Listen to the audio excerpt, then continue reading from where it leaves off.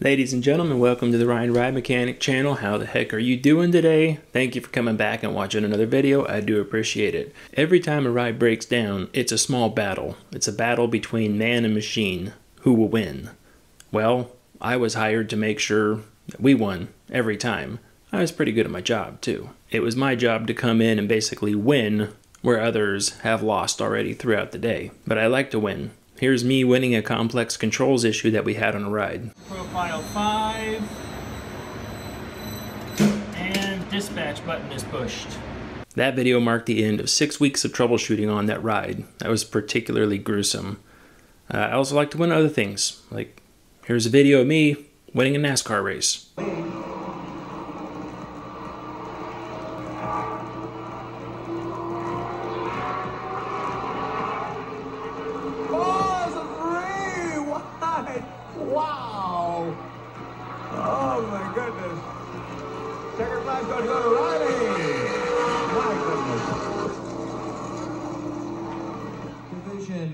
Sponsors Heath Welding Supply and Ames Audio in the four from Livermore. Ryan. For those of you who don't know, yeah, I used to race stock cars. So good old fashioned American horsepower was really fun to do. For those of you on the other side of the pond, Here's me winning an F1 race. And still the driver to beat. Max Verstappen wins the season opener. He takes the Bahrain Grand Prix. Can't catch him, let alone get around him. Oh my gosh. You see that one race at the beginning of the season, 2024 season? That was crazy. 22 second lead. Come on, who's dealing with that, really? Anyways, rides break down a lot. Sometimes they can tell us what the problem is, sometimes they can't. Sometimes we can figure it out, and we get the ride back up and running and we win. Sometimes we lose, and the ride wins day after day after day. Here's some stories of the time that the machines won. Amusement parks spend a lot of time doing PMs, and by that acronym I mean preventative maintenance. These are the preventative inspection and repairs that goes on first thing in the morning before the ride opens up every day. So PM is short for preventative maintenance. So remember that when I reference it. Plenty of parks spend even more time repairing your rides than they do getting their preventative maintenance done. When it comes to breakdowns, some rides are easy to repair and some aren't. I've seen mechanics push past their breaking point to the point where they end up wanting to quit at the end of the shift, or they just get really frustrated and have to storm off because they can't figure out what's going on.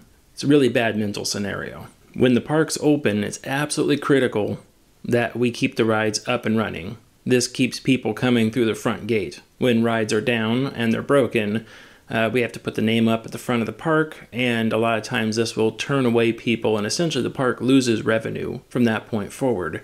So we want to keep guests happy, guests in the park. So we want to keep the rides running as much as possible throughout the entire day, every day. For the most part, it's actually flat rides that end up taking most of the downtime throughout the day because there's way more of them. We typically have park is only like 10% roller coasters and the rest of them are flat rides and kiddie rides.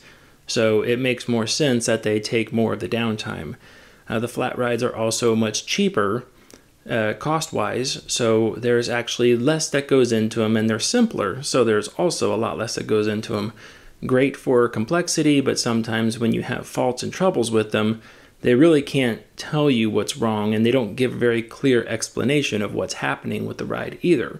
It leaves a lot up to the operator to figure out what has just happened with the ride. Some smaller rides have a complex fault monitoring system, and some of them have no fault monitoring system at all. They simply just stop working. I've worked on rides that were actually fairly complex, and the ride actually only had about seven faults total for the entire ride. And they really didn't tell you what was going on. So it was very confusing every time one of those faults did pop up. We were trying to figure out how the machine arrived at that fault. It was pretty complicated. There's been lots of times that the parks had rides down for days, even weeks, trying to figure out what the problem is. And at the end of it, you can sit back and like, man, all that problem was caused by that one little thing. That was crazy. I couldn't believe that one thing took the ride down for that long. Some of them are a little bit more complex, and the downtime is kind of justified for that particular repair. Some of these problems may seem minor, but they're honestly almost impossible to find sometimes, which is really troublesome for maintenance. Some of the worst troubleshooting out there is signals that go through a single wire and are daisy chained throughout the ride. Now, by that I mean the daisy chain is a series of switches put in place, and you'll have one wire that comes up to switch number one, it goes in switch number one and out switch number one. And then that same wire goes to switch number two, in switch two, out switch two, and then repeats with three, four, five, six, and can go all the way up to whatever number. I've worked on rides that were, it was 80. 80 was a lot of switches. So in the center, you have a slip ring stack. So a slip ring is a piece of conductive material that's been bent 360 degrees around the center hub where the ride rotates, and it's conductive. So the slip ring has a shoe or a brush riding along the outside. So your signal comes from the control cabinet and typically delivers something like power out to that slip ring. It transmits through the brush and then starts going through that daisy chain. And then that daisy chain signal has to come back to a second slip ring make contact through a brush and back through the slip ring again, and then it goes back into the control cabinet. Used really commonly on a lot of rides where it monitors restraints in the closed position. A lot of flat rides like to use limit switches to monitor the restraint in a closed position. So when you pull your lap bar all the way down, a lot of times it's very faint, but once you get it right down to where your waist is, you can hear this faint little click in the background. That is the limit switch changing state. So on rides where they don't quite know what's going on, they keep having people jostle around and say, everyone get up and like move over a seat and sit back down or something. There's a larger guest in the ride and that limit switch is not making. So what happens is they give the close command and the PLC or controller sends a signal out through that slip ring and then it goes through all 80 of those limit switches 40 30 20 whatever it may be and one of those switches somewhere is not closed the ride doesn't know what switch it is, the operators don't know what switch it is. Sometimes it's really obvious. You can look around the, the gondola, whatever you're loading, and just be like, um, um, oh my gosh, that guy right there. Yeah, that's the reason your limit switch isn't made. A lot of downtime on these rides can also be attributed to simply just poor troubleshooting on the mechanics end. Now, the mechanics know what they're doing and they know pretty well what they're doing, but a lot of times, what happens is that the environment that these rides work in are completely dynamic. They're changing every day, every cycle, every load, everything changes. So, a lot of times, you get into these problems, and some of them might be recurring problems, but sometimes you have problems that look like other problems, but they're not the same thing. Then there's plenty of times where you don't know what the problem is at all. So you can only do what's called chasing the symptoms. Well, the symptom is the ride is doing this one thing. So you just have to chase the symptom. And you don't know why that symptom is happening, but it keeps happening. And a lot of times it's not until later on down the road in troubleshooting that that symptom finally something else happens in the ride and the actual problem rears its ugly head and you could say, "Ooh, there it is." That thing, whatever it was, maybe finally broke or shorted out or faulted the rest of the way, that thing was causing these other things to happen. And we were always focused on scenarios one and two over here when it was actually scenario 10 that was happening, that was causing scenario one and two all the time. It's very, very problematic all the time with troubleshooting. It's called chasing the symptoms. But it is a great moment when you finally get that aha. That's it. That's the problem. So let's get into some stories. Now get ready. Here we go. So we had an SLC that was doing this symptom that was happening for actually a very long time. The symptom of this problem, uh, which actually plagued us for a good three or four years straight in a row, was that every once in a while the lift would slow down with the train on it and it would slow down to a crawl and then either suddenly speed back up as the train went over the lift hill or it would stall completely. And the motor would be sitting in the control room. The motor would be pegged at 400 amps on the DC armature, and the train just wasn't moving at all. So it would slow down, come to a crawl, and stop. and we didn't know what the problem was. Uh, we did all sorts of troubleshooting into it. Um, like I said, this this went on over years of troubleshooting. Uh, we tried to figure out what was happening. Each rehab, we did extensive work. We like would we took the chain apart. We thought it was drag in the chain assembly, so we replaced chain liner all over the chain. We replaced uh, one year. We replaced the chain itself. Uh, we thought it was a DC drive problem, so we bought a brand new DC drive from Vekoma to replace in the control room downstairs. Uh, we replaced the cabling going up to the DC lift motor. We replaced the tachometer. We replaced the lift motor itself. We rewound, which means to refurbish or repair the DC motor up on top of the lift hill. We did all this stuff and we still couldn't figure it out. And now this was coming close to the time of the end of my employment there because I was looking to move on. But uh, the last year and a half, somewhere right around there, I had I kept telling everybody I said it has to be because we we've done everything else. We've replaced wiring, motors, DC drives. We've replaced the motors. Uh, the tach generator on the back of the motor. We, we've done everything. Like, nothing is making sense here. So I'm like, it has to be probably the planetary drive up on top of the lift hill. And I talked with lots of people about that. I talked with vendors, I've talked with manufacturers, I talked with everybody, and I would explain the symptom of what was happening. And they said they said gearboxes, these planetary drive gearboxes especially, they said they don't fail in that fashion.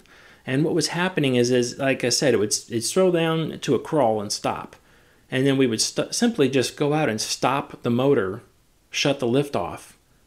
We didn't have to wait a long time or do anything funny to it. We simply just hit the start button again, and the motor would pick right back up, and it would carry the train right back over the lift hill just like normally. And it wouldn't do this every day or even every other day. Sometimes it would go weeks, sometimes even months between doing it. So it was the the time frames between it was really really throwing us for a loop. We could not figure out what was happening.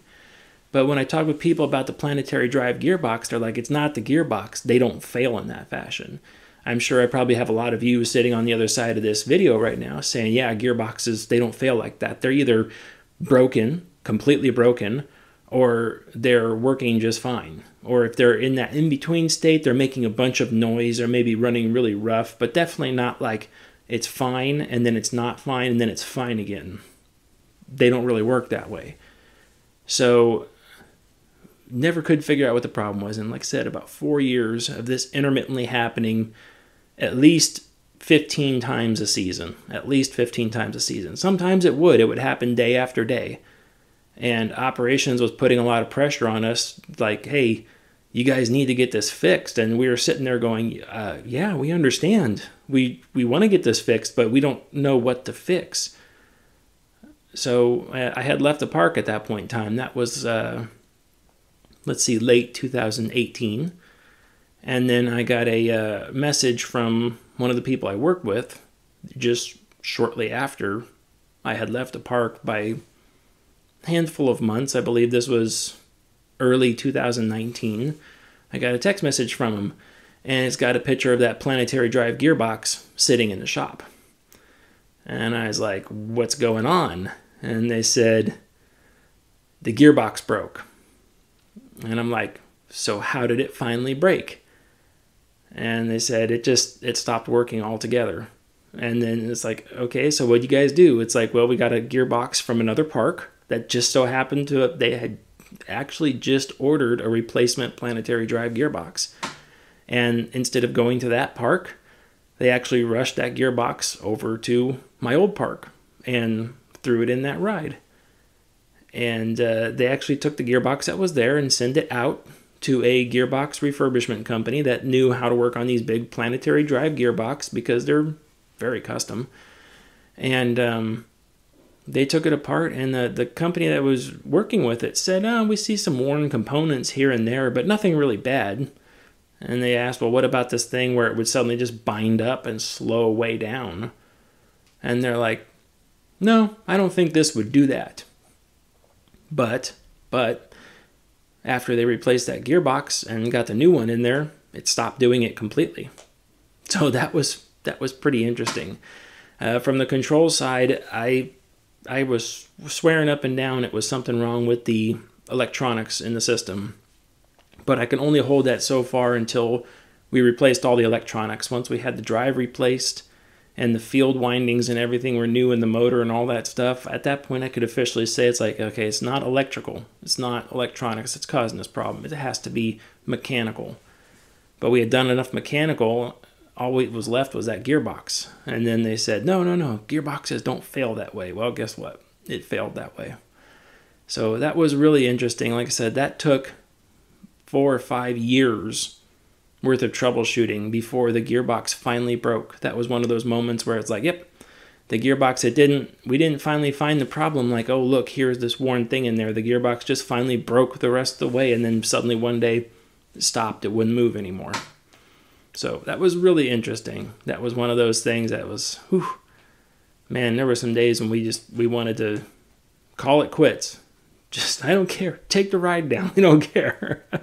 but uh, of course, the park won't let you do that. They're like, nope, that's a moneymaker. We need it up and running.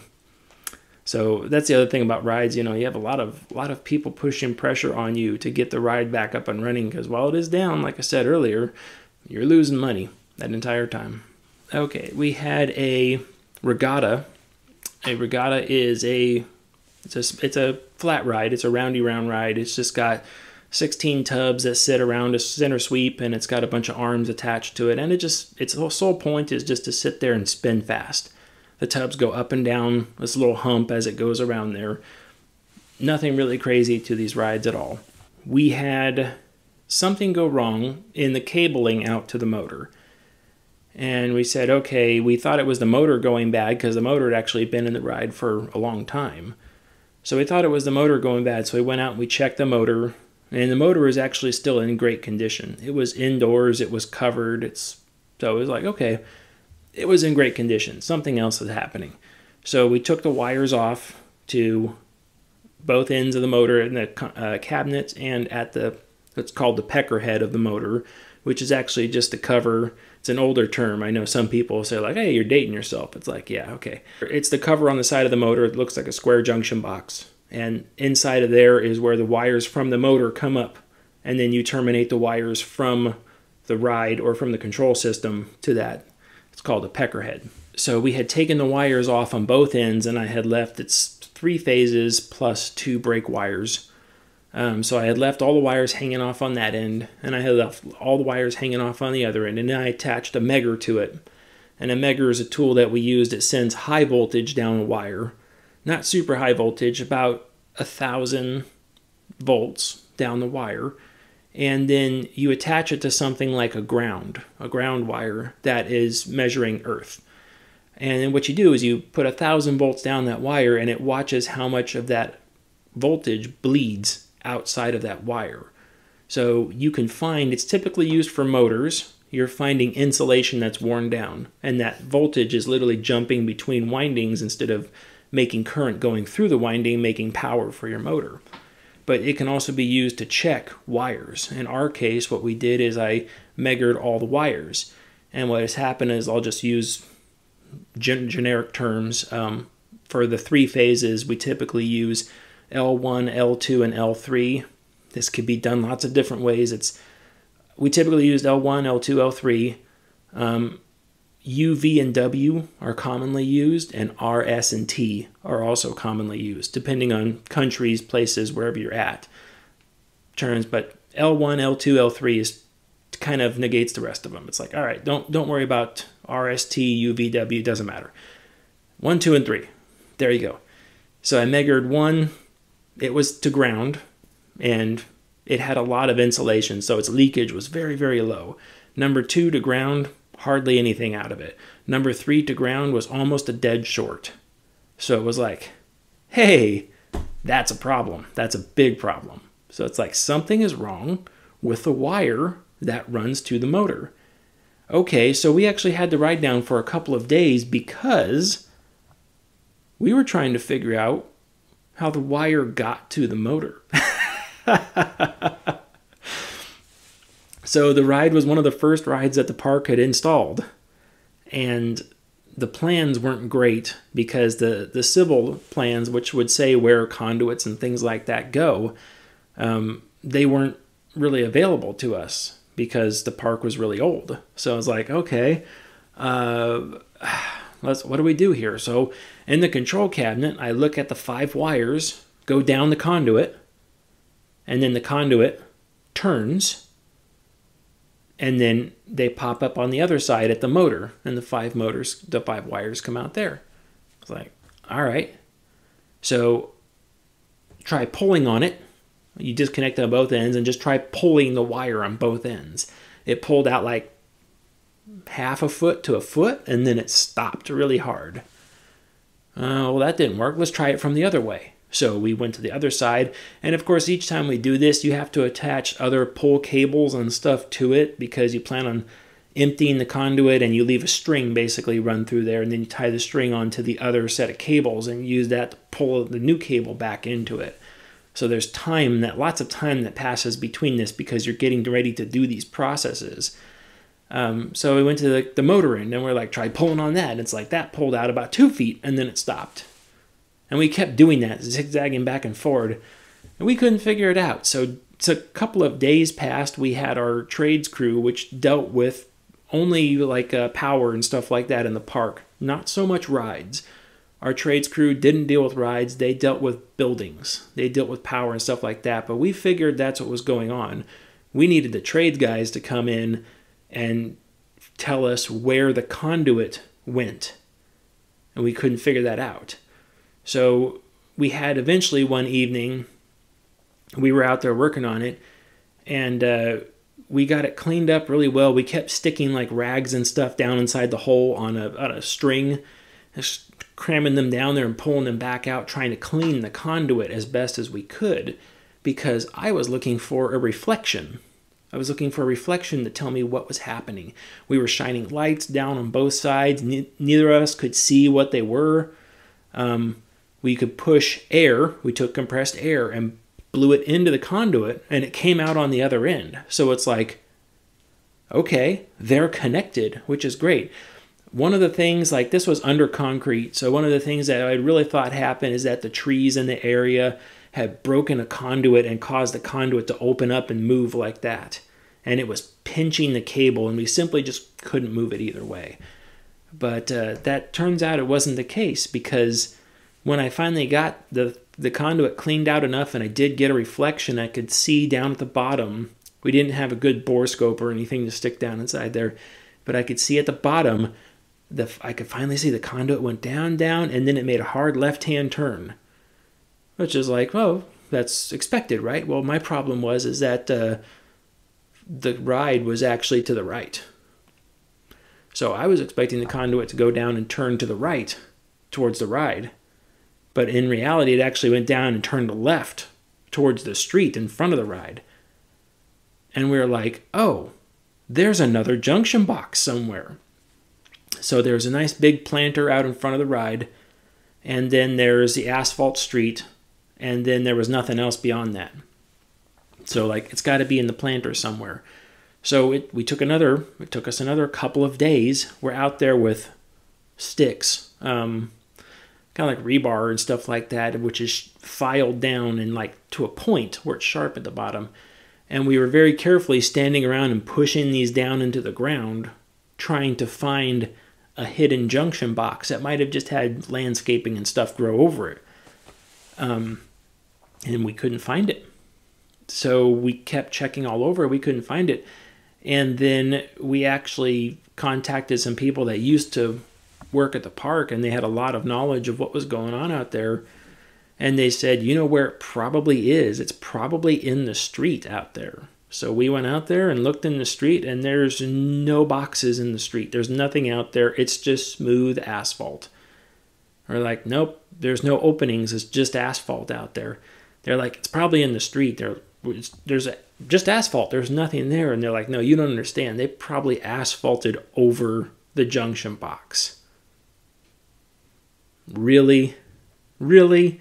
Yeah, they just asphalted over the junction box. That's probably what happened. I say probably I don't know what happened because in order to get the ride back up and running, because we had already been down for like four or five days doing this, um, to get the ride back up and running, uh, we opted to just we ran an external conduit from the it went underneath the control cabinet just like the original one did but we put one right next to it and ran it just on top of the concrete because people weren't walking there. We ran it under the ride on top of the concrete through some flex couplings because it had to go up and over this the ride structure and then it just ran into the base of the ride and then stubbed up from there and then we tied it in with the existing system to that time when I left, it's like we still didn't know where that cable went. it's one of those things. It's like the ride was down for almost a week just because one wire went bad. But that opened up the other problem. Like, well, we didn't know where that wire went or how it got back to the motor. So people don't think about that sort of stuff. It's like, yeah, those are some of the really weird problems we run into in these troubleshooting scenarios. That was fun we had a Vekoma boomerang in the park, and we were having this weird problem of between cycles, the ride would run just fine, and then the train would come back home and it would home. And then what would happen is as we let the catch wagon down from the top of lift one and it would come down and you know catch wagon comes down a boomerang and then latches into the back of the train again it would come down and it would start slowing down it would just start getting slower and slower and slower. And pretty soon it would just stall on the lift hill and it would stop there. But the hydraulics were humming in the background, it was putting out pressure to the lift. Everything was exactly where it was supposed to be, doing what it was supposed to do. But the, the catch wagon would just stop. And it would do this fairly consistently. So we were trying to figure out how it was doing that. We had no clue how it was doing that. So we were in contact with Vekoma. We were like, what's happening here? And it's a hydraulic system. The whole everything is hydraulic. The brakes are hydraulic, the winch package, everything. There's big reversing valves. So you have half the system runs lift 2, half the system runs lift 1, and then of the system that runs lift 1, half of it is designed to reverse and half of it's designed to go forward. And then half and then part of each one of those system is designed to open and control the brake in that system. With the time lag between us and Vekoma, and we had other parks on the phone too, because we were like, hey, uh, we were asking them because all over the hydraulic system there's pressure ports where you can plug in gauges and actually take the hydraulic pressure off of there say, what's your hydraulic pressure on all these things? We're comparing systems where it's like, okay, your guys is working. What's yours doing? Ours is not. What's ours doing? And we're trying to figure out where the difference was. Because a lot of times that's one of the things of troubleshooting. You can't necessarily figure out what's wrong until you know what's right. And a lot of the times on rides, that stuff isn't really documented that well. There's a pressure port there. It's great. It's got 4,600 psi on it. That's great. Is 4600 psi correct? I don't know. What was it before that? Well, we had no reason to check that before that. So you had this pressure port sitting there that you didn't know what the pressure was the entire time. So troubleshooting like this helps us for future references because we actually went through and recorded all the pressure points. And when the ride was in operation, we recorded what those pressure points were doing while it was going this way, while it was going that way, when it was in this cycle, when it's in that cycle. So we gathered all that base data. A lot of people are just sitting there going, well, yeah, duh, don't you do it? It's like, no, we weren't doing that. We weren't gathering base data. And come to find out, most parks don't gather base data off their rides like that. Um, it's not something that's very common because it takes a lot of manpower to do, and you can't justify why you're putting that manpower in there. Well, for the future. For the future, what? You're spending all that money on time and labor for what? The park sees no immediate return on that investment. So they're like, don't waste people doing that. Go do something else. So this catch wagon would continually come down. It would slow down, slow way, way down. And then a lot of times it wouldn't make it to the train. It would stall on the lift hill. So kind of like the SLC, if we turn the hydraulic system off and then turn the hydraulic system back on and then started lift one lowering again to bring that catch wagon back down, it would pick right up and go just fine, no problems, and come right in, connect to the back of the train, and probably run the rest of the day and maybe the next day with, with no problems. So, again, when you add time to these scenarios, it makes it that much more complicated. It's like, why is it doing that? How is this? Why is this doing this so intermittently? We couldn't figure it out because it was our is there time of day it was happening? Was this was the moon and the sun in the right orientation? Like what was going on with this ride? We could not figure it out. So working with Vekoma back and forth, it takes a took a very long time to do. This was again one of those things that probably took us the majority of an entire operating season to figure it out. Because Vekoma would say, What's this doing? and then we would go out there and we say, this is doing this. Well, is it in its failed state? Well, no, it's not. It's running now just fine. Well, we need to know what this one thing is doing in the ride's failed state, which means that we can't continue troubleshooting until it fails. That's one of the number one things that most people don't understand. It's like you can't troubleshoot something until it fails. Have you ever done this with your car? Maybe you have a car, your service engine soon, soon light comes on or something like that, and then it goes away. And then it's like, huh, that was weird. You take it into an Autobot or auto shop and say, what's happening with my car? And they plug it in. They said, well, this fault happened, but it happened one time. You're like, well, what does that fault mean? And they're like, we don't know because it's not doing it anymore. It's the same exact thing with a ride. Unless it's failed, you can't really troubleshoot what happens. You can do shotgun repairs where you just start replacing parts left and right, hoping one of them does it. But you're eating up a lot of money and a lot of resources when you do that. And I know, like, for people at home fixing their cars, we don't want to spend a ton of money just on some mechanic's hunch that something might not be right, unless they have something to back it up. So it's the same thing with amusement parks. So it would take forever. Like this thing would it would work fine for a week or two and then it would stall again.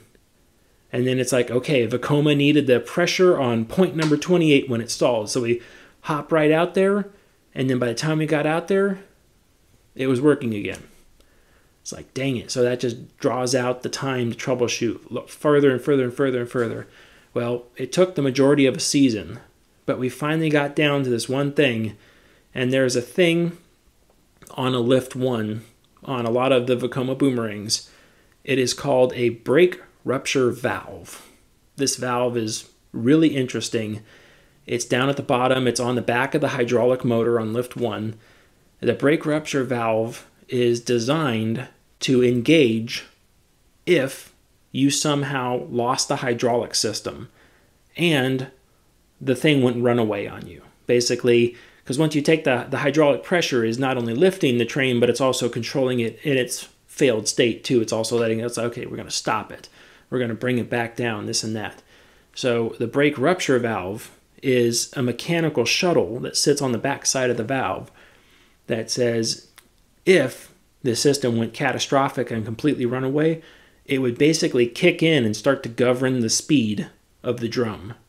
So if it went runaway on you completely and everything failed and your brake failed and everything else was messed up, hence the brake rupture part because the hydraulic brake needs pressure to open. So it's going to assume that you not only open the brake at that point, but somehow you stuck it open. Somehow, don't know. But and then that drum starts speeding up because the train's coming down. Well, they put that hydraulic assembly in there to say like, okay, it's going to govern the speed of that drum coming back out. Now, this is a catastrophic failure scenario, so no parks ever dealt with it. They're like, we don't know what that thing is at all. We're not touching it. Vekoma never told us to touch it. It's not in any procedures to touch it until ours started malfunctioning. And then it's like, it basically thought when the train would come back down, it basically thought that the drum was going into a runaway scenario. So the spool, the valve on the inside started to shuttle and move, and it started to regulate the speed. Although we were just telling the catch wagon to come down at its normal speed, when it would start failing, that valve would start shuttling over because it thought it was going too fast. And because no parks ever dealt with this, Vekoma rarely dealt with it. Uh, it took a lot of back and forth between everybody to say, I think the brake rupture valve is bad. And then it's like, okay. And then Vekoma said, maybe it just came out of adjustment. Well, we've never adjusted the thing before. How do we know what the adjustment is? And they basically said, okay, well, do a bunch of tests, run it up and down a bunch of times, and then there is an Allen adjustment on the back. You put an Allen key in, and then a lock nut that goes around it. You simply just open the lock nut, and while the thing is running, you twist that Allen screw, and you'll, you'll be able to hear it slow down or speed up, depending on what you're doing. So we went out there, and it was running up and down just fine. We opened that adjustment screw up, and then we don't remember which way it was, but we like started to tighten it, and that drum started slowing down, and the system started loading up under pressure, exactly like it did when it faulted. We're like, this is it. This is what's happening. We're like, oh my gosh, yeah, look at that. So we we did that, and then we said we didn't want to adjust it in its working state because we didn't want to go too far. We didn't want to cause a safety hazard at all. So what we did is we actually waited again until the ride failed again. And then when it was failed, it was down, it was trying to come down, but it was stalled. This time, instead of stopping the hydraulic system, we went out there, cracked that nut loose, and started to adjust that Allen key. And then as we as soon as we started backing tension off that Allen key, that drum just just picked right back up and started going back down. And then right when it just backed not even an eighth of a turn of that wrench, we just just backed off enough to where that thing sounded like normal, and then we locked it back down from there, and we said we're done. And then after that point, we had never heard from that again. Now, there was a problem, which is why it came out of adjustment in the first place. So the solution was once we found that we, that adjustment had worked, the solution was we ordered a new brake rupture valve from Vekoma.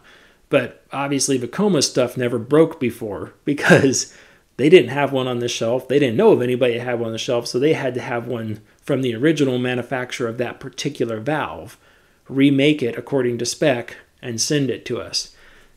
That shows you how often their stuff fails. when when nobody ever has heard of this failure before, and then it suddenly is like, yeah, that's it. But that, I mean, that took a year. That took a year to troubleshoot just a slight adjustment on the back of the brake rupture valve. Absolutely incredible. Took up so much time. Handful of downtime calls. We probably had about 30 to 40 downtime calls for that spread out over that year. Uh, so not great, but it's kind of what it was. At this point in the video, if you haven't already, please make sure you like and subscribe and give me some comments down there. Let me know if you got any fun stories to add on to these. And then let me know if you want to see something for topics in the future too. I'm always up for new stuff. I've got a list of things that I'm making, but sometimes somebody says something and I'm like, oh yeah, let's do that one real quick. That that really sounds like fun. I do enjoy getting that information. You guys come up with a lot of good ideas for videos, so let me know if you got them. You can also email me at ryantheridemechanic at yahoo.com. Let's get back into the video. Okay, so we had a crazy bus, and this was manufactured by IE Parks. Now, it's nothing against the manufacturer. It's a very common design that's used between lots of different manufacturers. It's a kid's ride. It's got a bus that's go around two arms. There's also a crazy sub out there. There's all sorts of rides identical to this. So you can copy and paste this towards everything. When we got this ride and it was brand new, they were going along and operations called up and they said, it vibrates. And we're like, what do you mean it vibrates? So, like, once you get to a certain speed, especially with load and stuff, it vibrates. We don't know why it vibrates, but it's vibrating. It's like, okay, so maintenance will go out there and we look at it and we go, okay, well, I don't really see anything wrong with it, so we turn it back over to operations. And then later, they call up and say it's vibrating again. So this kept getting worse and worse to where, and when I say it getting worse and worse, the problem actually wasn't getting bigger. What happens is when these problems arise like this, where we can't fix them right off the bat, is that the operations becomes more in tune with the problem as before that when that very first time that problem came up, that very first operator was sitting there going, I don't think this is supposed to be this way. I think I'm going to call the ride down. Before that point, operators have heard it but they didn't really understand if there was or was not a problem, so they didn't even bother calling it down. Not like, not shame on them, nothing like that. But it took a long time to just acknowledge that something was happening. And then they started calling it down. And then the more they called it down, those operators were able to pinpoint it quicker and quicker and quicker and quicker. To then, towards the end, when we knew exactly what was going on, the operators could just start it and it would go three quarters of a rotation and be like, there's the vibration right there. So we had this thing up and down so many times. Uh, we were out there troubleshooting it. We were running crews out there working with it from all aspects, late into the night, early into the next morning, trying to figure out what was going on with this thing because it was a newer ride. And we, we did not understand. We're like, why are we having so much trouble with a new ride? we had the park the manufacturer in contact and they were trying to help us out but when you're dealing with things like that it had a motor went through a t-shaped gearbox and then that went out to two other gearboxes which went through two ring gears which went through two arms with counterweights. The whole thing was down. Had a sheet metal facade on it. So there was so many things with harmonics and vibration that could be happening. Everyone was just they didn't know where to start. Nobody knew where to start. So we were doing all sorts of things to this each night every night. The night crew guys were running till like 2 o'clock in the morning which they were normally supposed to leave about 11 o'clock at night but they were running out there till like 2 o'clock in the morning we had four mechanics out there one guy was just sitting there running at high speed low speed forward backward trying to think of everything we got more mechanics out there. We got weight into it. We were trying to figure out if weight figured out into this. Was, there was a loading in the front versus a loading in the back versus the center, heavy versus light. We were trying to figure it all out. We couldn't figure it out. Like, what is going on? One night, one night we were running that thing. The ride had been down for like a couple weeks, and we still couldn't figure it out because night shift was troubleshooting it Day shift would try, but honestly didn't have the people night shift did. So hardly anything happened on the day shift, and the park didn't want us troubleshooting it with the uh, area open. So that made it harder. We couldn't troubleshoot it during the day. Um, so we went out there and we were running it at nighttime. And the night shift manager at the time was out there. He was actually operating it. And the thing was going around. They had it going full speed in there. And then something just boom came apart in the back, a bunch of loud bangs, and the thing just came to a stop. Well, crap, that's not good. Ran around back there. What happened? Now there's a on those rides there's a safety cage on front in case any of that stuff comes apart in the back, those drive shafts and uh, and gears and sprockets and stuff In case any of that ever fails, there's a safety cage back there to prevent stuff from flying out. Because typically these things are put up at fairs and things like that, where you might have people walking close to the back side, you know, on the other side of the midway. You might have people walk in there and you don't want them catching shrapnel off of some rotating assembly that came apart. But in this case, everything worked like it was supposed to. The safety cage worked like it was supposed to. We actually had the pulley, the drive pulley assembly came off. And we're like, how did the drive pulley assembly came off? And we look back up and we're like, well, the drive shaft that it attached to that came out of the gearbox, the entire shaft was gone. What? And so we got down, got the pulley, which was all like had a bunch of dings and bangs in it now. And we're looking at it still has the drive shaft on the inside. It has the shaft, the input shaft, I should say, to the gearbox. Sorry it still has the input shaft sitting inside of there. And we're like, how the heck did that happen? And we look at it. Now, if you've ever seen a failed shaft, what it looks like is that out of a nice round diameter like this, like three quarters of it will be nice and shiny. And then, like a lot of times, what happens is that a quarter of it, like ours, was rusty.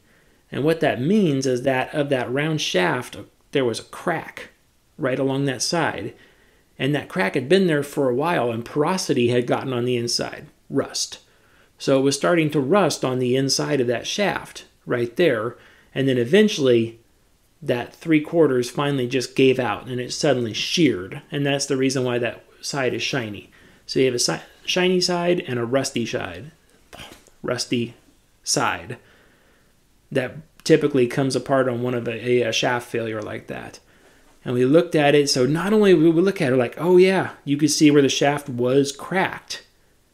And then that's where it broke apart right there. We were like, oh my gosh. Can't believe none of us caught that for a while. Granted, you know, working on it at nighttime and stuff like that, but we're still like, none of us caught that. What added insult to injury on that one is that we started going back over because we were taking pictures of everything left and right, send them to the manufacturer and anyone else who had a ride like that, trying to figure out what was happening. In one or two pictures of that assembly that we had sent off to the manufacturer and to other parks, you could see the crack in the picture. Like it's right there. Once we knew what we were looking for, we're like, there's the crack right there in the picture we sent to everybody. No one caught it. but so that was from the get go. That's when it's cracked or when it started to open, at least. That's when it started vibrating. Because when it was first went in operation, it didn't vibrate at all. And then once it started failing, it started vibrating. And the operator was like, this isn't right. And then after a while, it was like, yeah, the vibration started getting a little worse. Honestly, just a little worse. It wasn't bad. And uh, we were just like, huh, well, maybe they should just like turn the music up to the area and keep running the ride. Uh, we didn't quite know what was happening, but they kept calling it down time and time again. And it's like, okay, so we kept trying to figure the whole thing out the entire time. We couldn't figure it out. Not until one night, and it was like 2:30 in the morning when it happened. It just broke apart completely. And we had a whole bunch of mechanics sitting in the bus with a bunch of weight uh, on top of it and stuff like that, trying. We we're trying to load the thing up to figure out what was going on. And the night shift manager was absolutely at his last wit. Um, he had the other manager on the phone, and he's like, I am, that was before the failure. You know, he was ready to quit. He was just like, I'm finding another job. F this place. I am out of here because he just he could not take dealing with these constant calls like that down all the time for this thing. And the last, uh, I think the last week that we were troubleshooting that ride, we never even opened it.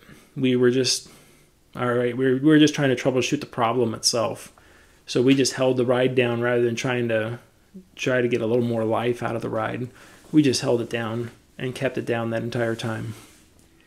We had a Huss Frisbee that was sitting up there. And the Huss Frisbees are really interesting. They're old rides, but they use two drive tires underneath the keel that moves the gondola and swings it out from side to side.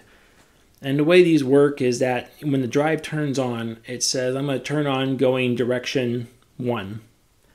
And then it does. And to accelerate, it says it uses its base tachometer speed, whatever that input is from the motor, and it adds 15% to it.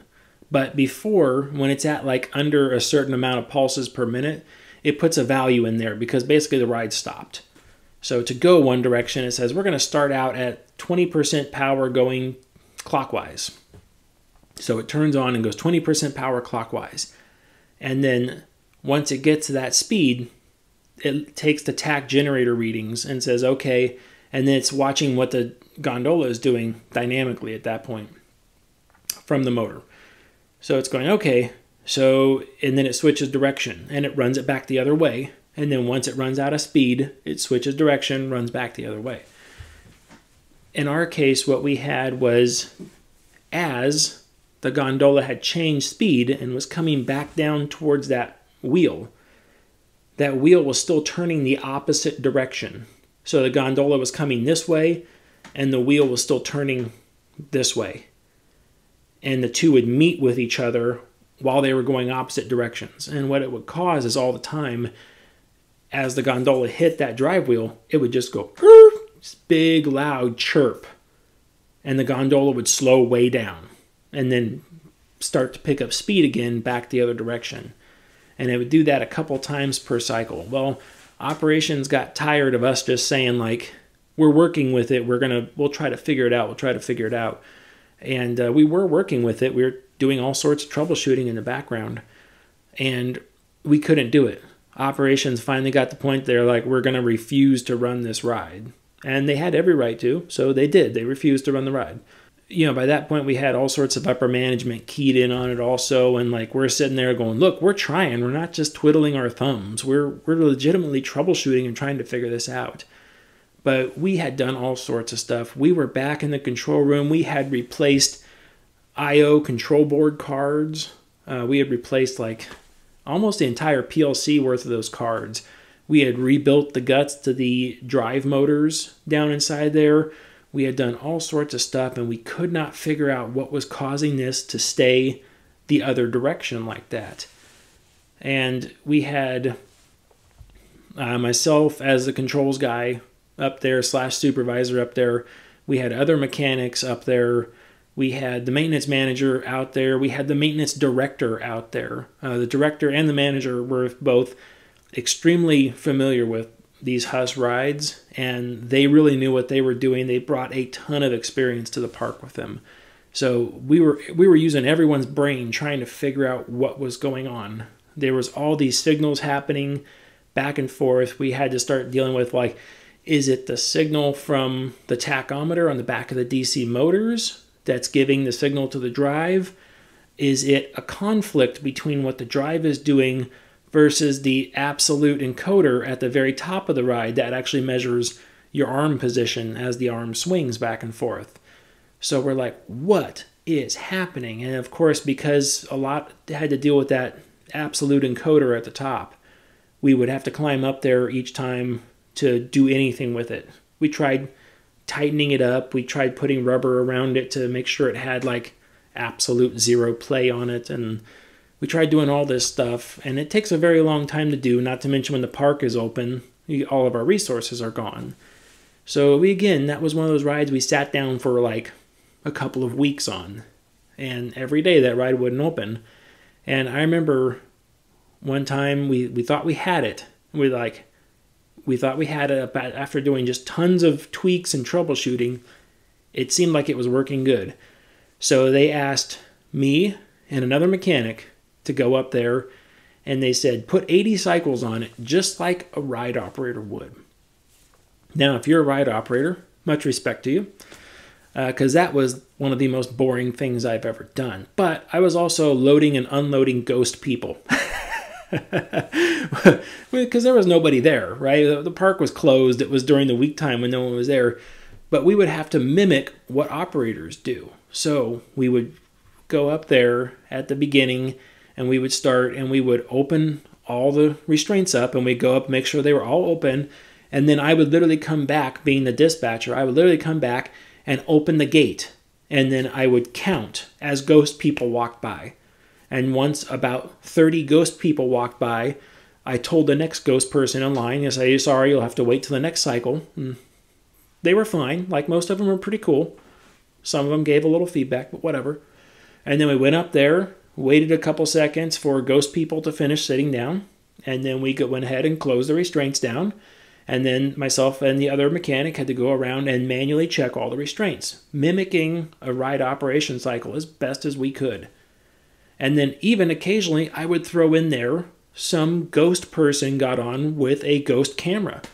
And I'm like, hey, you can't ghost film on the ride, so you have to go put that in the ghost lockers. So we open the restraints back up and let the ghost person go up, put the ghost camera away, come back, sit down, then we had to check everybody again. And then I'd run it. I put 80 cycles on that ride. I am like 80 cycles that took the majority of the day I was going nuts at the end of it because, again, nobody there. I mean, at least operators have people to kind of interact with as they're doing this. Nobody there. Done with that. It's good. It's good. Open the ride back up. The next day, crew comes in. We're up there while the crew is warming it up because we are just like, we are there. It's done. We're, we're good with this. Cycle number one right back into that tire. There was almost some quitting on the spot right there. Like, are you kidding me? Are you kidding me? Ran this thing for a freaking day with problem free. And then cycle number one, it does it for the new operators. Oh my gosh. Flash forward past some more troubleshooting and another week worth of everything down. we decided to, we were into shotgun repairs. Again, that's just where you just replace stuff just because you don't know. Yeah, I don't know. Just replace it. So we finally came down to the tach generator that was on the back side of swing drive number one, not number two, number one. And we replaced it. And then it started working beautifully. And we're like, really? So we actually took that tach generator back off of that drive, put the old one back on, and then we really started watching the signal on that. We hooked an oscilloscope up to it to watch the actual waveform from the tach generator come out. And as the motor spun, yeah, the wave looked really choppy coming off of it. And it had all sorts of problems with it. So we were like, ooh, look at that. So we went ahead and replaced it. We ran a bunch of cycles, gave it to operation, said we're very confident about that. We replaced this tach generator on the back side of the motor, and now the motor is behaving all sorts of brand new. And they said, okay. They're like, we still want our ops to come up there, and we're going to run it for like an hour on our own before we bring people into the in the queue. Okay, that's fine. They did. An hour later, that ride went up and running, and it was fixed at that point in time. We're like, all right. It was a tach generator. We went back and added a, uh, I think it was a three year, three or five year PM onto the ride, which it was never mentioned before on there. But I think at a three year, we put a PM on the ride that just said replace the tach generator on the motor because we didn't want that happening again. That was some bubkiss. We had a Intamin T U-shaped suspended impulse coaster and this ran the old fiber optic IEA net system. The net system, the IEA system, was two things to the ride. It was a encoder uh, to figure out where the ride was on the track, and it was a speed emulator that told you how fast the ride was going.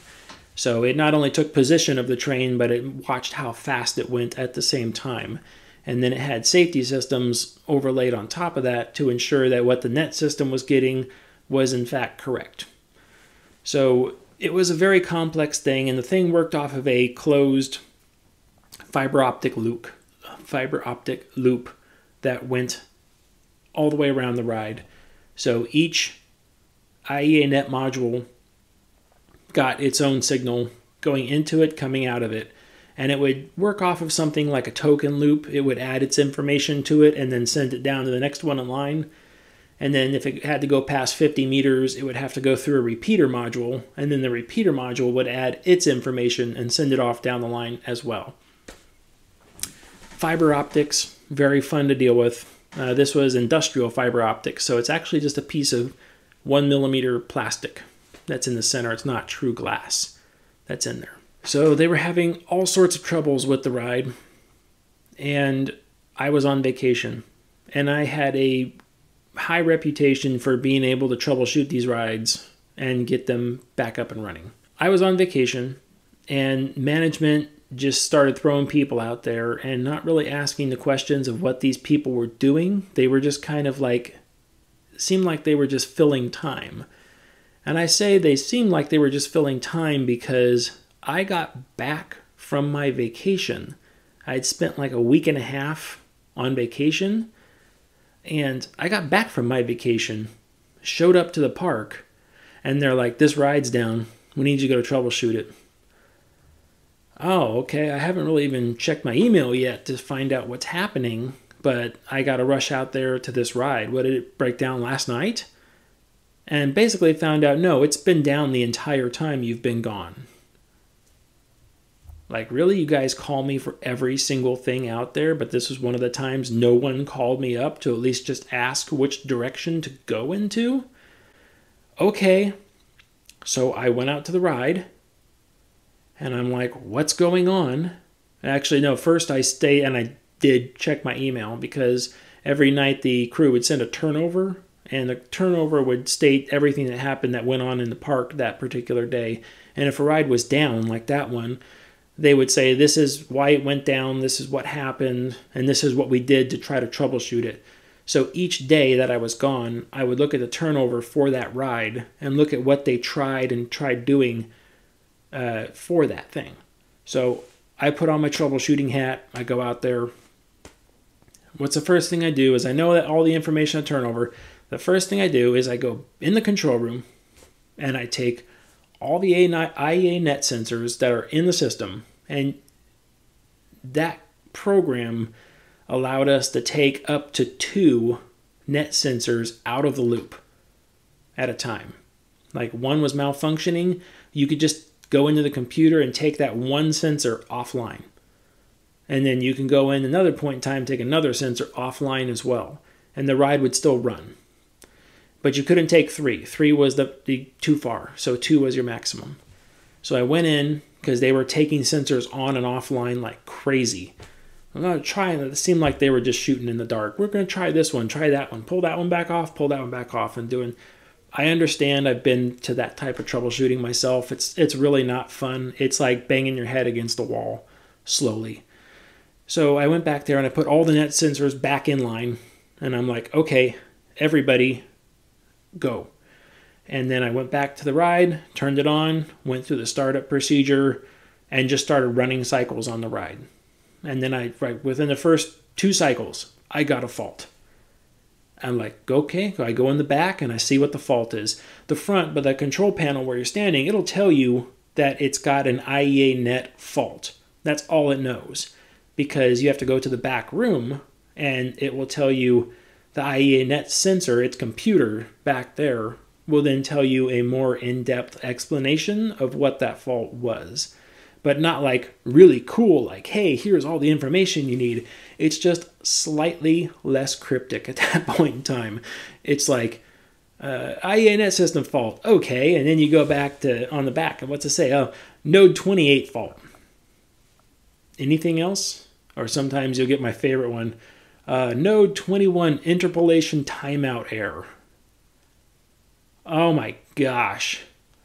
If you've ever worked on one of these systems, and I know you guys are out there too, if you ever worked on one of these systems and you see that interpolation timeout error, it's like, uh, I've spent a lot of time staring at that word. um, and this is for an inductive ride. I don't know if I said that, by the way. um, so I went back through and it said something like it was like I think an in- interpolation timeout error on node 28. Well, the ride's a token loop, so it starts out at the PLC and starts sending its token down. It gets down to node number one. Node number one writes its info on the signal and then sends it out to node two, and then back to the. So when you have this interpolation timeout error on whatever the node number is, I don't care what number there is, whatever number it is, you take that number and you go minus one backwards, right? That's your problem because it's always sending the signal forward in the loop. So I went there and and that was also in the turnover a bunch of times was something like that node 28 timeout or blah blah blah blah. So I went there, got the same thing.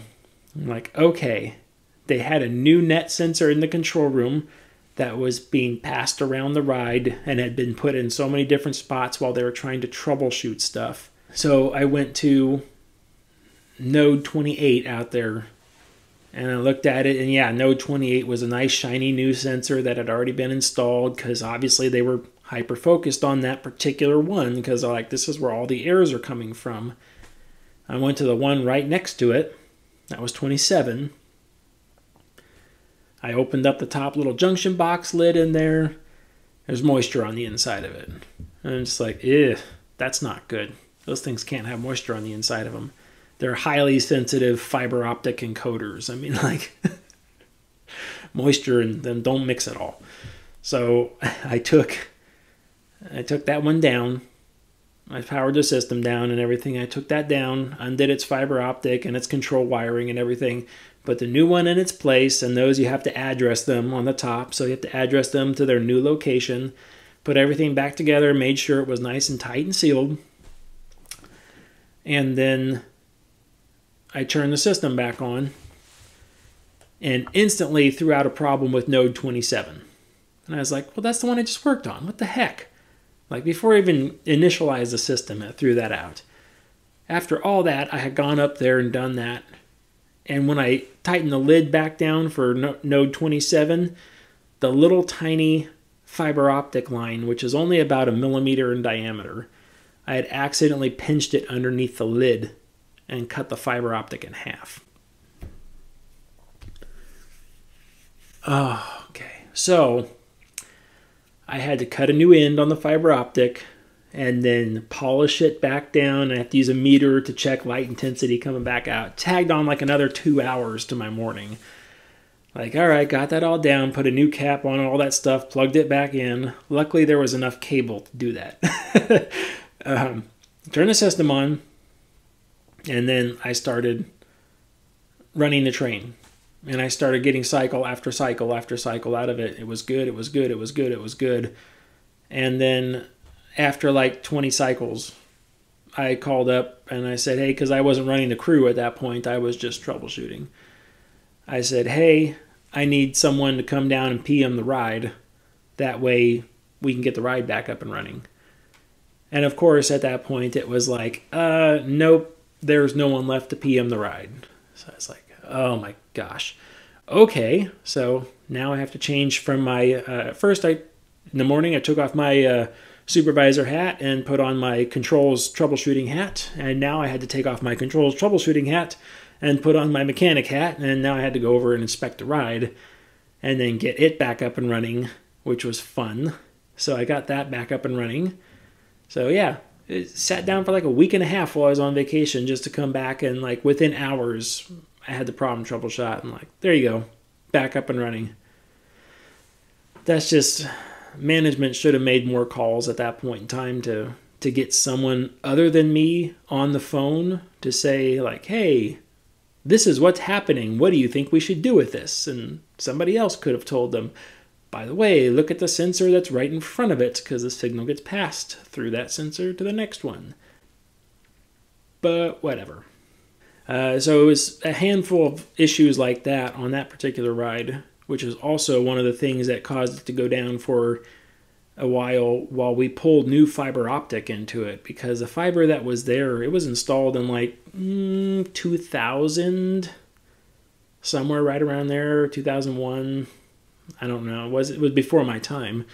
So it was installed around that time and i was just like well that fiber that's in there is getting tired it's getting uv beaten and stuff like that so it's like we just need to pull new fiber and this stuff I ended up buying new fiber, which is industrial fiber optics. I ended up buying it from IGUS, which is a really good company for uh, control stuff and things like that.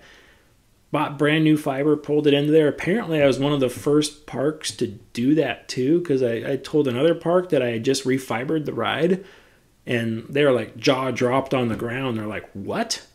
You pulled new fiber into it? How did you do that?" And I'm like, "Oh yeah, I just got this stuff from." Uh, from IGUS and I put that in there and they're like, really? And like, was that such a pain? And I'm like, it was kind of a pain because we had to do all these little things to it, but here are the pieces I bought and here are the parts. And they're like, well, we're going to do that. I'm like, I highly recommend it. Funny enough, you know, I had these 50 meter long runs of fiber optic between nodes and setups. But then in between the two sensors, which were typically always right next to each other, there was only about a one meter less than that, like a 0.7 meter piece of fiber optic between the two nodes to communicate from one to the other. The shorter one, that little 0.7 meter, looks like two feet long, somewhere right around there, piece of fiber optic, that was the worst fiber optic out of all of them. The 50 meter long ones that go from the ones from, you know, 50 meters apart, those are perfectly fine all the time. It was the little short, stubby ones between the nodes those were in the poorest condition. Like we saw the biggest change of improvement by replacing those. I think we're about done on this video. I've got more stories as well, so I think I'll go ahead and make the next part to this and release it in a part two at some point. But uh, yeah, part two coming later.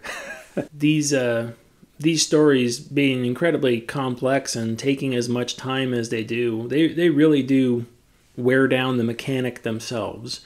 So it's it's a rough it's a mental strain when you have rides down for a long period of time. The mechanics feel it, the crew feels it, and then the park starts to feel it. Um, it's kind of like being sick. It just it runs its way through everything, and it's really not great at all. So the next time you see a ride that's been down for a while, and you and you might see mechanics standing there with a sad look on their face trying to figure out what's happening to the ride, or if they stand around with a confused look on their face like they don't understand what's going on with the ride, just let them know. Say, hey, thanks for trying and doing what you do. That we do appreciate it, getting the rides up and running. So I think that's going to do it for this video, though. I'm Ryan the Ride Mechanic. Make sure you like and subscribe, share, do all that stuff. It does help me out, and I do appreciate it. And if you want to do your part in keeping these rides running smooth, make sure you do the one critical thing, which is staying off the air gates. Bye.